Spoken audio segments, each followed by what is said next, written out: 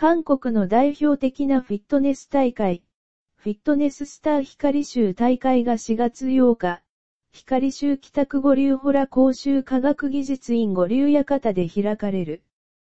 スポーツエンターテインメント会社のボディデザインフィールとスヨンフィットネス合同主催で行われる今大会にはプロアマ問わず約250人が参加する予定だ。